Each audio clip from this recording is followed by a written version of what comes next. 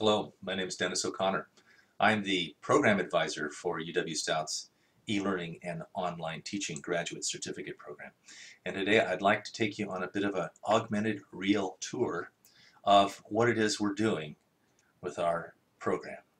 So what we'll do, let's get started by using augmented reality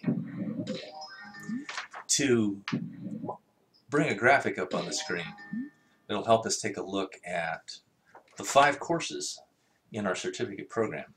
The first course, E-Learning for Educators, is a foundations course. The second course, Assessment of Student Learning, is a course that will thoroughly ground you in the methods of how to evaluate student work using a variety of technologies. And this is a strong course for both the blended classroom, where you're teaching partially online and partially face-to-face, -face, and the fully online classroom.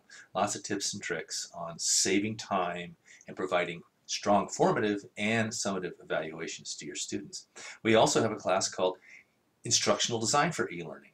This class will help you learn how to put together sequences of instruction to meet your objectives. It'll give you a thorough grounding in the art of instructional design so that when the time comes that you want to create your own course, you'll at least have a basis for how to put a good solid course together. Um, then we have another class called, think I'm going to sort of see if I can pull us around here. Uh, we, we call it collaborative communities or creating collaborative communities. That class specializes in teaching the fine art of facilitation, along with uh, the dynamics of how to use a discussion thread to draw out critical thinking. Also, the instructors are very skilled in time management techniques, so you get a good solid education in how to cope with uh, the world of the online teacher. Uh, finally, our last class in the sequence, that you have to take the first four to get there, is the practicum.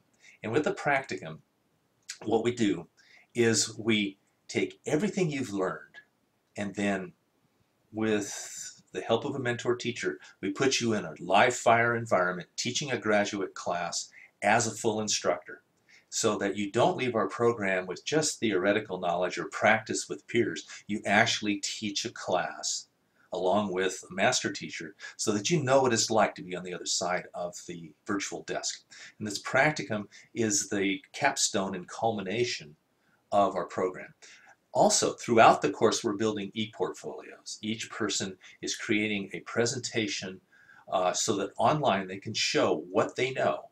And we use this e-portfolio as a job-seeking tool because I know that people that take certificates have a substantially better chance of getting a job in their area of interest, but are also looking to find new work, to open up a new career. And that's what e-learning really is. It's a chance to broaden your career. Uh, I know that many of you watching this video are going to be teachers, either K-12, community college, or university teachers. And up to this point, you have been teaching in your hometowns. And if there's nothing much in the hometown or you want to change, it means you have to move. But with e-learning, you can teach from anywhere. I've taught for years in the Midwest, from the West Coast. It's not a matter of physical location anymore. It's a matter of getting online and connecting with folks. So I hope this little overview intrigues you and that you click on through, take a look.